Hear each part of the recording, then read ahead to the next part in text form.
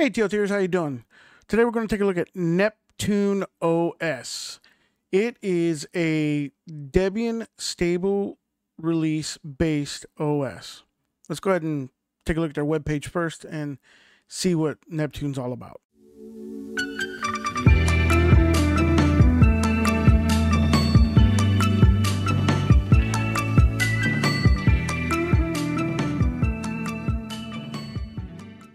And this is what you're looking at. This is NeptuneOS.com's About Neptune section on their webpage. What is Neptune? Neptune is a GNU Linux distribution for desktops based fully upon Debian stable Bullseye. It ships with the modern KDE Plasma desktop with in with its main view on a good-looking multimedia system.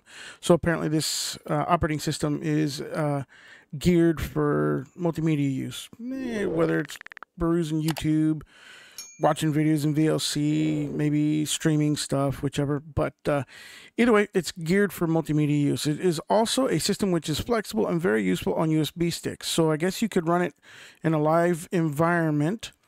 Um, if you'd like, and it's very and it'll run smoothly on there. It doesn't uh, slow down or anything like that. Therefore, we've developed an easy to use applications like USB installer as well as a persistent creator. Ah, yeah. So they are kind of gearing it to be a, a portable OS where you throw it on a thumb drive and you can boot into it because of the persistent section. So you can uh, add things to it and it'll keep and it'll save the changes not into RAM but actually onto the USB stick. So at the next time you boot into that USB drive, it's there. Uh, that allows you to store the changes to your system. Like I said, the Debian repository is a major base for getting the updates and new software. Furthermore, Neptune ships with its own software repository. Oh. Uh, to update our own application, see the Neptune repositories for more information. Neptune tries to get the BeOS message of a fully supported multimedia OS to the next generation of users. Wow. So they're taking the BeOS and they're trying to bring it to a, a more modern day feel. I can respect that. Uh, if you click on tutorials over here, uh, real quickly, let's go to their tutorial section. And here, this is how you can upgrade and do um, the update repositories, of course. Uh, so for upgrading, it wants you, oh, you go to this little link right here where you download a script. Um, as you can see in the picture here, you download the script. Then, of course, you're going to want to right click on yeah, and set it as an ex, ex executable script by right clicking on it. And in the prop, you go to properties and you click the execute section here. Then, after you're done with that, then you can right click on it uh, and open it up in a terminal and it'll and hit enter and it'll execute the script and it will do all that good stuff. So, that is that is that is a way to update it. Now let's go back to the about. Uh, Neptune's main focus is providing an elegant, out-of-the-box experience for users. Therefore, we ship with a nice and simple overall look and feel, as well as a whole bunch of multimedia tools, codecs, flash players, audio and video players. So um, it is geared for so much. It's got support for apps. Desktop is going to be uh, Debian, or um, uh, KDE. Sorry, the Debian core and hardware. So it's probably going to, you know, support the hardware that is um, mainly supported by the Bullseye, not uh, rolling release as far as like new and current software patches that are out there, but you know, more a little bit more dated uh, drivers and tools. So uh, the Neptune repositories down here um, is where you could find them. Neptune uses a combination of Debian, Netrunner, and its own software sources. On an installed system, you can find the software sources under etc apt sources.list.d. They're divided into separate files. Interesting. Neptune ships with two software repositories.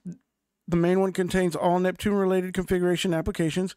The second one is called the KDE repo and contains all KDE Plasma KDE applications and frameworks. Both of them are signed by our GP, JPG keys. GPG keys. Uh, sorry, I can't talk today. uh, so it's completely forked, but it's forked um, completely, where they've developed their some of their own software and they're providing maintenance for it as well. And this update, whenever you do an update or you refresh the, the mirrors list or the package list, it'll pull from all the repositories. So you're made available. If you click on the download, it takes you to where you download, which is where I did. I downloaded the ISO from the, the DE server. So, anyhow, that is a look at Neptune OS and what it's about. So, it's called uh, Neptune 7.5 ADA.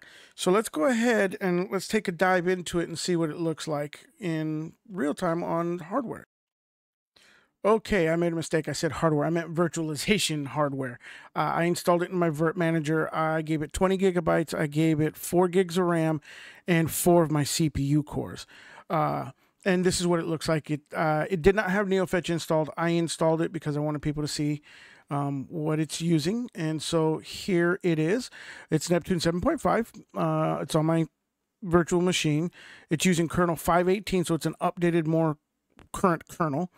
Uh, it's using Bash 5.1, Plasma 5.20, which that's older, considering that we're on 5.25 or 5.24. I can't. I 5.25.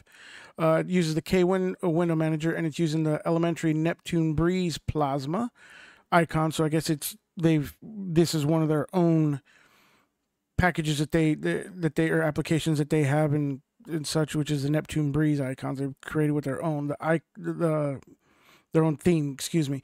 The icons are the Tila theme, uh, or Tila icons, the terminal's console, and that is it. So once again, as we know, it was definitely uh, KDE that's inspired this window manager, or that is the window manager. So we're going to look on right clicking on here and seeing what kind of wallpapers they have that they offer out of the box since they have their own. Let's go ahead and make this a little bit bigger.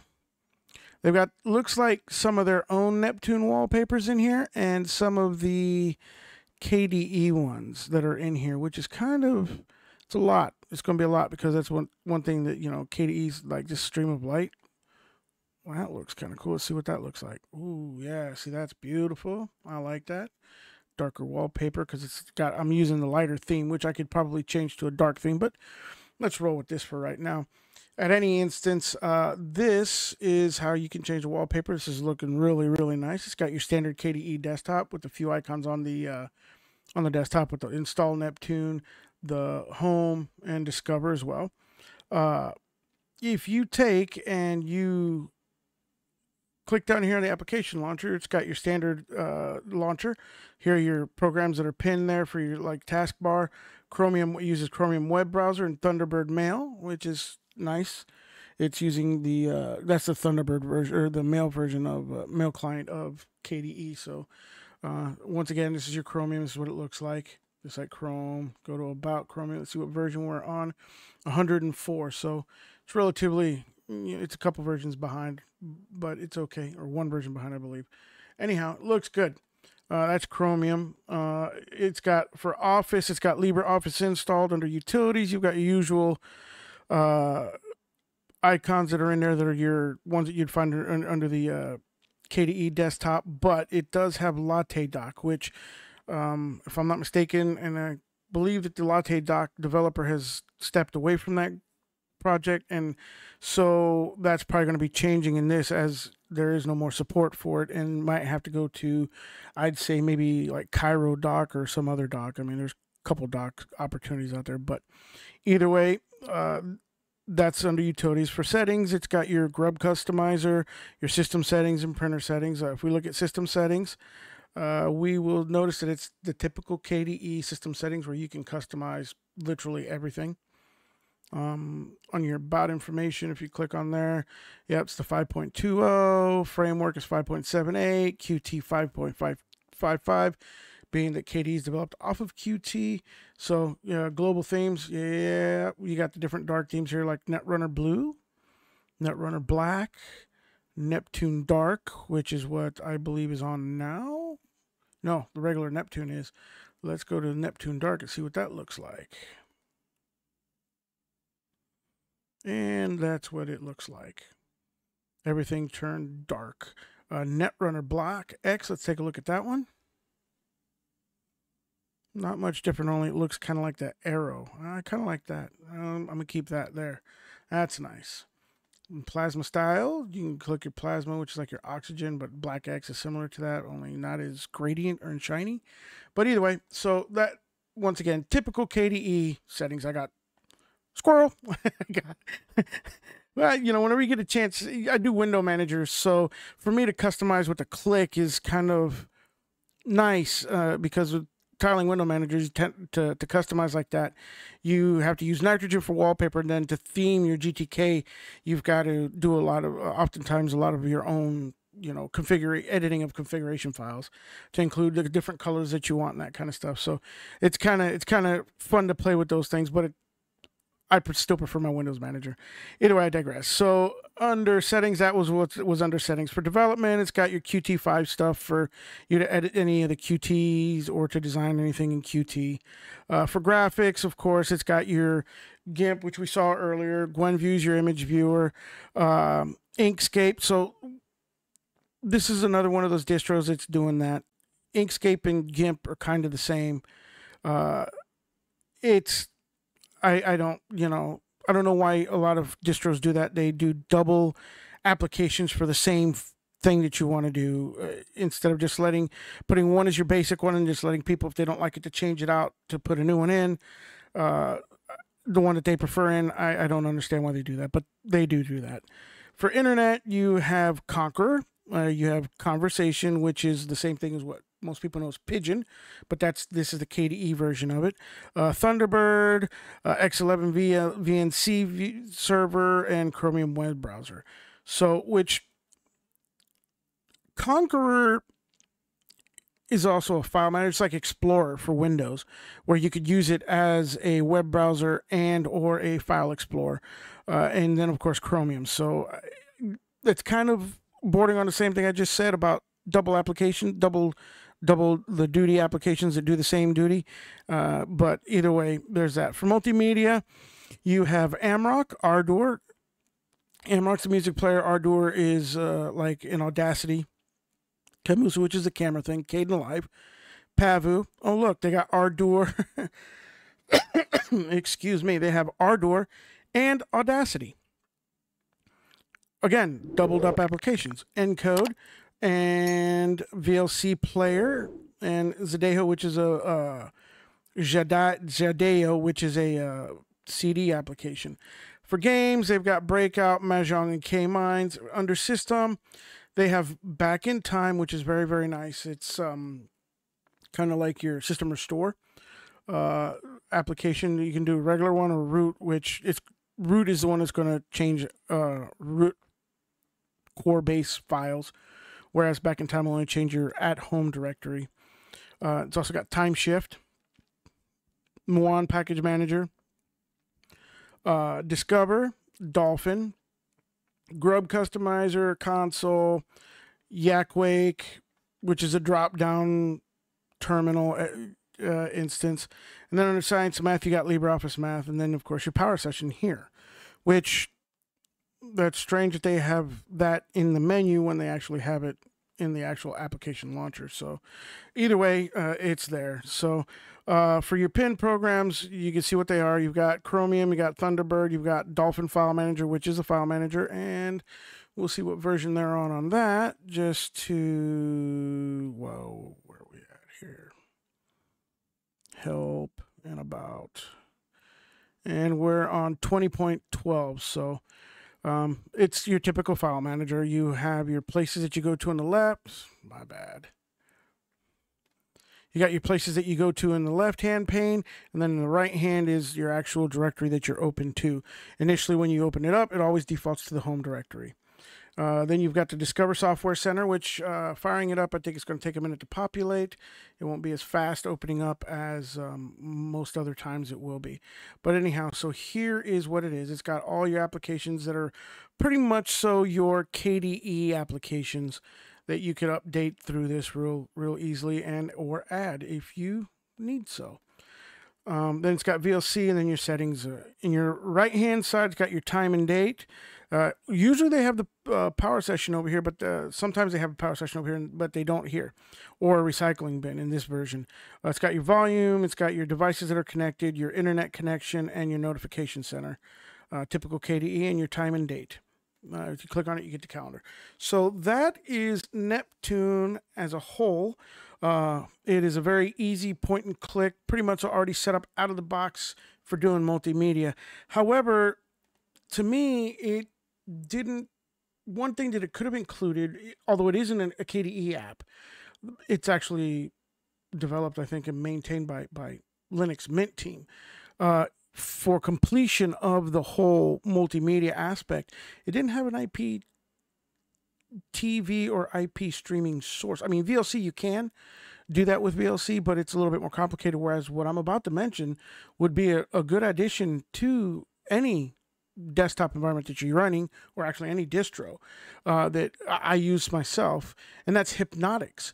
Uh, because with that, it already comes with free IPTV that you can go to, but it also allows you, if you go into the settings, you can actually install other IPTV sources.